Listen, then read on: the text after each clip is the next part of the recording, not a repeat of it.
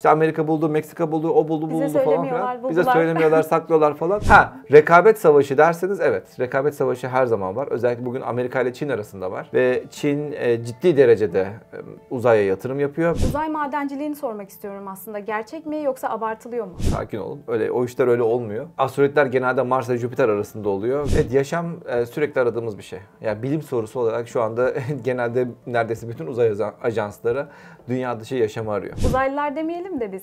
Ee, anlamlandıramadığınız şeyler oldu mu böyle çalışmalarınız sırasında ilgi çekici? Ya her şeyin bir açıklaması oluyor. Evet gökyüzünde garip garip şeyler görebiliyorsunuz. Evet Gezer Avcı döndükten sonra aslında kritik bir döneme gir- giriyoruz. Umuyorum ki Gezer Avcı ile beraber bir astronot programı başlar. Bu sadece tek bir astronot misyonu olmaz.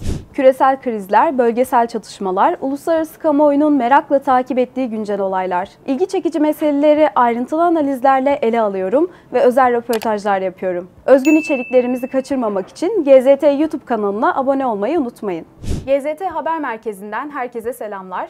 Uzayın derinliklerinden Türkiye'nin yükselen bilim ve teknoloji ufuklarına bir yolculuğa çıkmaya ne dersiniz? Ülkemizin uzay çalışmalarından ilk Türk astronotumuz Alper Gezer Avcı'nın uzay yolculuğuna, ayın gizemli sularından uzay madenciliğine kadar merak edilen birçok konu var. Konuğum uluslararası bilim dünyasında da adından çokça söz ettiren bir isim. Astrofizikçi ve derin uzay iletişimcisi Doktor Umut Yıldız.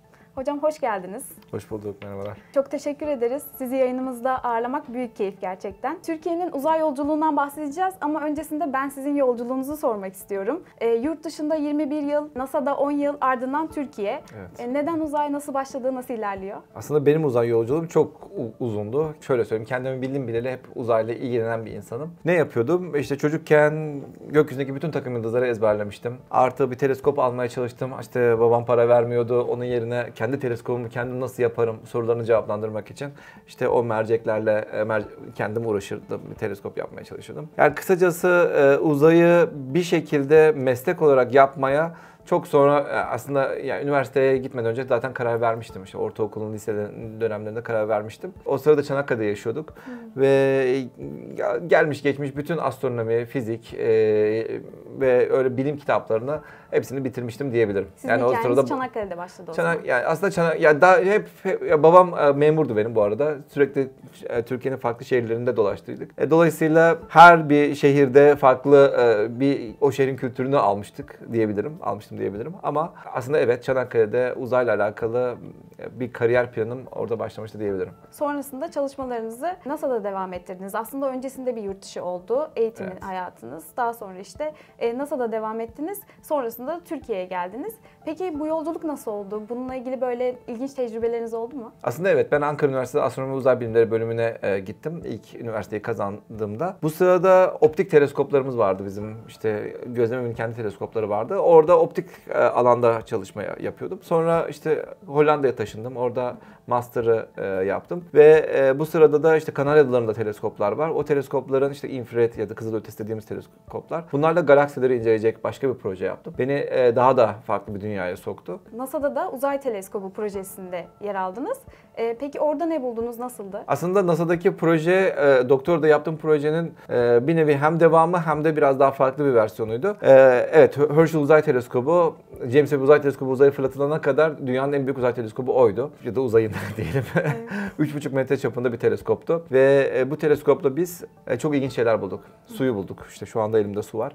E, bu suyun nereden geldiğini araştırmıştık. Ve yeni oluşmakta olan yıldızların çevresinde su molekülleri var mı yok mu ne kadar var bunları araştırıyorduk. Çok yüksek miktarda su bulduk. Dedik ki ondan sonra evet şu elimizdeki su güneş sistemi oluştururken oluştu ve bu e, çalışma ondan sonra basın e, bültenlerinde yayınlandı ve Bu çok heyecan. çok büyük bir e, sonuç oldu evet. Evet bu çok heyecan verici bir şey olmuş olmalı sizin için de böyle. Tabii ki aslında bilimde çok karmaşık sorular sormuyorsunuz. Çok basit sorular da sorabiliyorsunuz. İşte biz burada ne yapıyoruz, nasılız? İşte yani bazı basit şeyler işte örneğin sürekli aldığımız bir oksijen molekülü var. Bu nereden geldi? İşte ya da hava nereden geldi?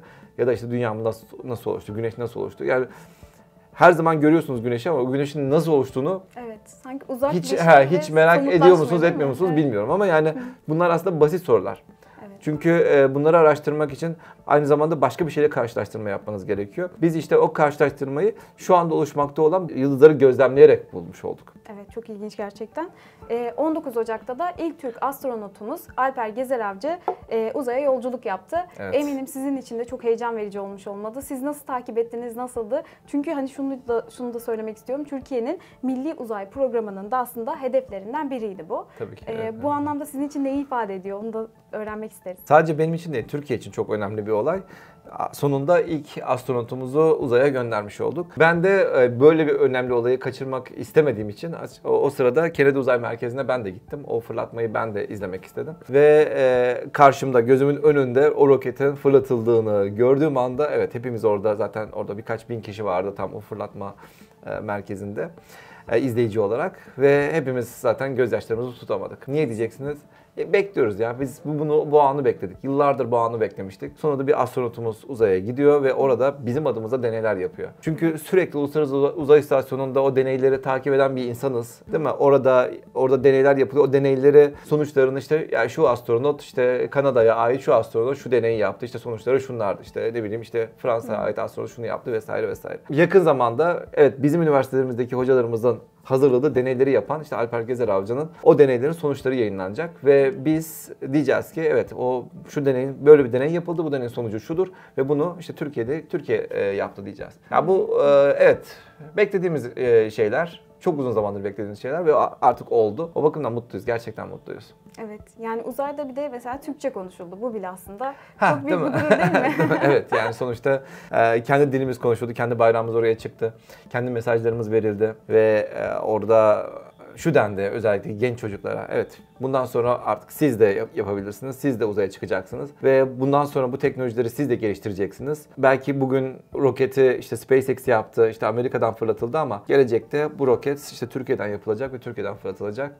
Bun- Bunların e, da yolunu aç, açmış olduğunu düşünüyorum. Kesinlikle. Hatta bu videoyu izleyenlerin bile bence böyle teşvik edeceğini düşünüyorum ben. Tabii yani tabii ki. çünkü Umarım. çok heyecan verici bir şey. Umarım evet. Evet, bu anlamda e, Türkiye'nin uzaydaki çalışmalarını nasıl değerlendiriyorsunuz? Yani siz de e, NASA'dan sonra bir potansiyel bir şey görmüş olmalısınız ki aslında Türkiye'de şu an e, çalışmalarınızı yürütmeye karar verdiniz. E, bu nasıl oldu? Türkiye'de e, kamunun zaten uzun süredir bir uzay çalışmaları olduğunu biliyoruz. İşte TÜBİTAK Uzay olsun, TAİ olsun, işte başka yerlerde vesaire. Yani bu şekilde bir devletin bir şekilde desteklediği uzay programı var. Özel uzay şirketlerinin yaptığı e, uzay programları var. Bugün özellikle bu işte işler değişti. Özellikle SpaceX'in geri dönüşümlü roketinden sonra uzaya erişim çok ucuzladı. Ucuzladığından dolayı da artık dünyanın farklı bölgelerinde belki hiç alakası olmadığını düşündüğünüz ülkelerde bile uzay şirketleri kurulmaya başlandı. Ve bunlar bir şekilde uydu, uydu hazırlayıp uzaya fırlat- fırlatıyorlar. Türkiye buna geç kalmadı. Türkiye bu durumda geç kalmamış durumda. Uydu fırlatıldı dediniz. Türkiye'nin de fırlatılmış uyduları var sanırım. Evet Türkiye'nin de fırlattığı çok uydular var. Bugüne kadar TÜBİTAK Uzay işte ya da TürkSat'la beraber fırlatılan uydular vardı. Devletin fırlattığı uydular vardı. Artık özel şirketlerin de fırlattığı uydular olmaya başladı. Hatta özel şirketler eğer ki her şey yolunda giderse uydu takımı dediğimiz takımlar fırlatacaklar. Yani şu yüzlerce uyduyu aynı anda fırlatacakları bir dönem başlıyor. Ve bu Türkiye'den oluyor. Ve buna geç kalmamış olmak gerçekten çok önemliydi. Evet, çok iyi. E, yani aslında her şey yeni başlıyor değil, yeniden başlıyor gibi Evet. bir durum söz konusu belki de. Aynen öyle. Ee, bir de böyle ilginç merak edilen konular var. Ee, uzayda e, savaş olacak mı gibi, ayda savaş olacak mı gibi. Çünkü biliyorsunuz bir rekabet söz konusu. Hatta ben de böyle Hindistan'la ilgili bir video yapmıştım. Ayın arka yüzüne e, iniş yapan ilk ülke olduğu ile ilgili.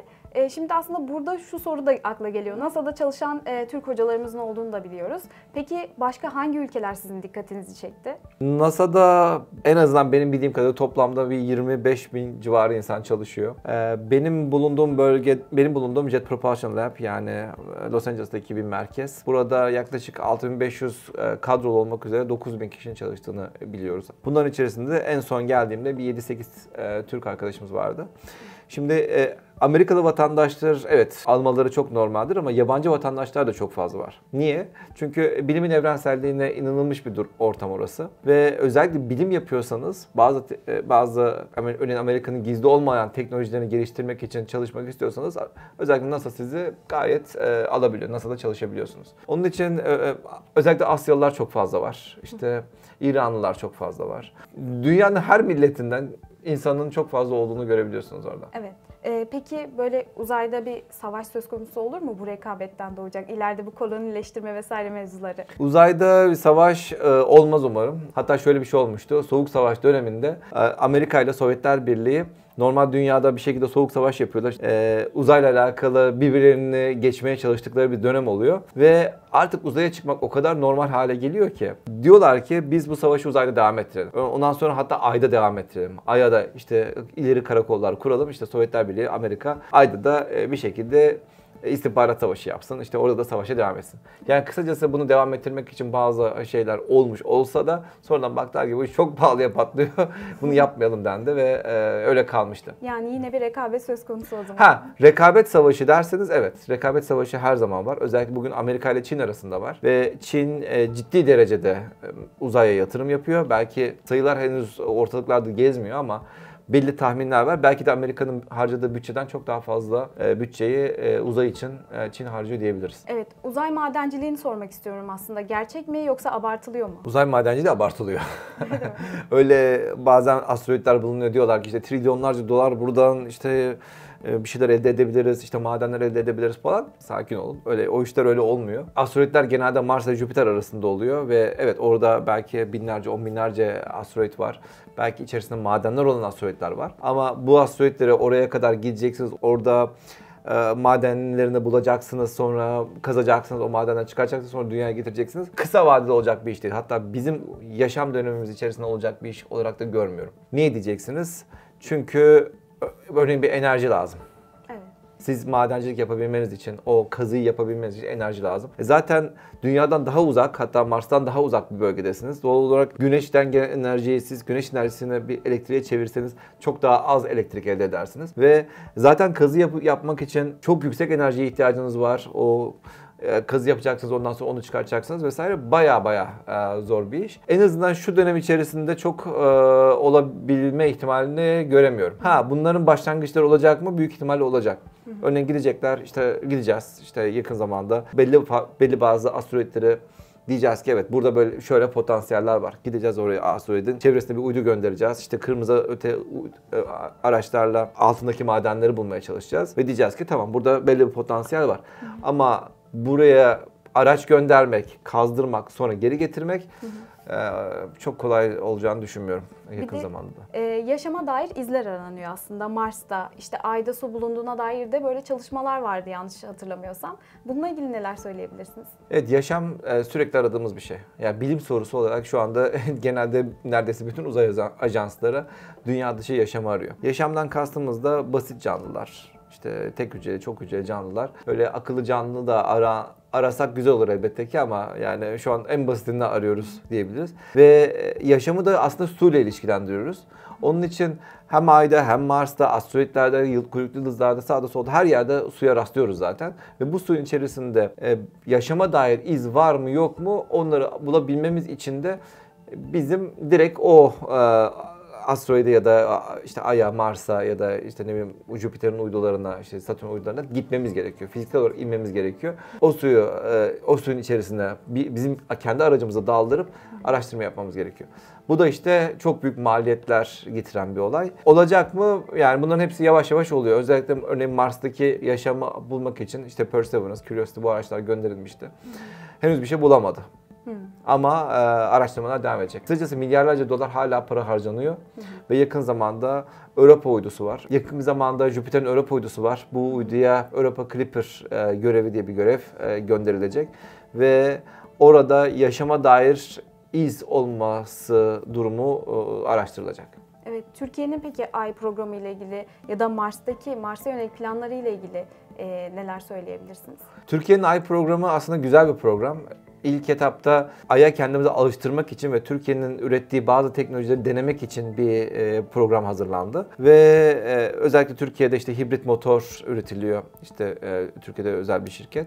Bu özellikle denenecek. Ondan sonra da Ay'a ulaşacak. Ay'a ulaştıktan sonra Ay'ın çevresine dolanıp oradan işte görüntüler bize gönderecek. Sonrasında da yumuşak yumuşak olması biraz sertle yumuşak arası bir iniş yapacak. İlk önceleri direkt e, çivi gibi aşağı inecekti. Şimdi yine de iticiler, geri iticiler kullanılacak ve çok da e, sert olması da bir iniş gerçekleştirecek. E, proje çok daha genişletildi. O nedenle 2026'ya sarkmış oldu. Daha iyi bir proje haline geldi. 2026'ya sarktı. Bu çok güzel.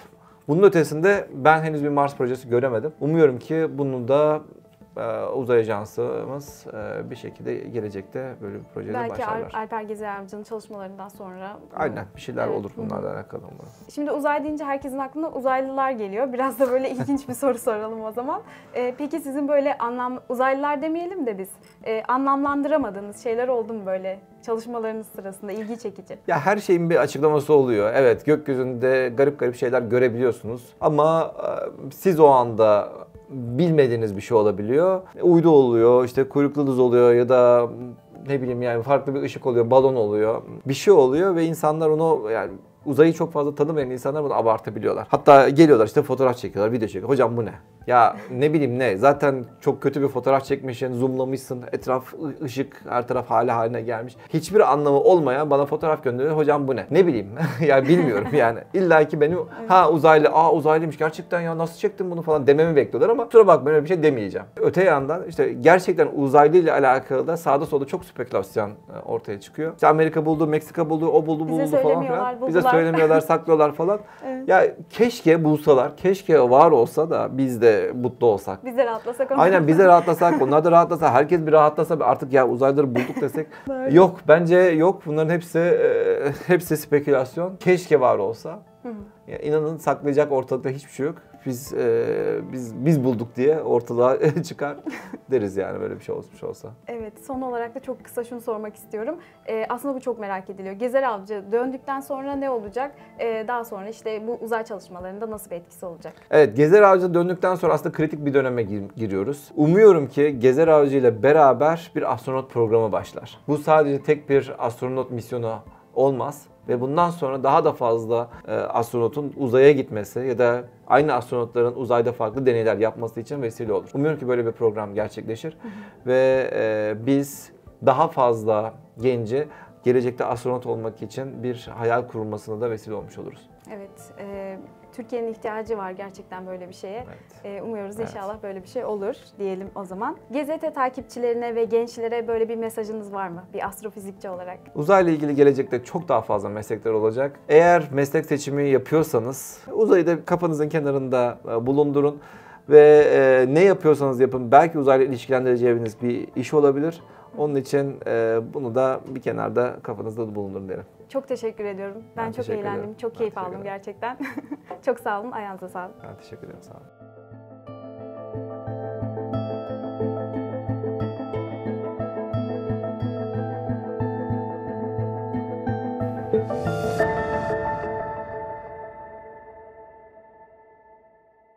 İşte Amerika buldu, Meksika buldu, o buldu, bu Bize buldu falan filan. Bize söylemiyorlar, saklıyorlar falan. Ha, rekabet savaşı derseniz evet. Rekabet savaşı her zaman var. Özellikle bugün Amerika ile Çin arasında var. Ve Çin e, ciddi derecede e, uzaya yatırım yapıyor. Uzay madenciliğini sormak istiyorum aslında. Gerçek mi yoksa abartılıyor mu? Sakin olun. Öyle o işler öyle olmuyor. Asteroidler genelde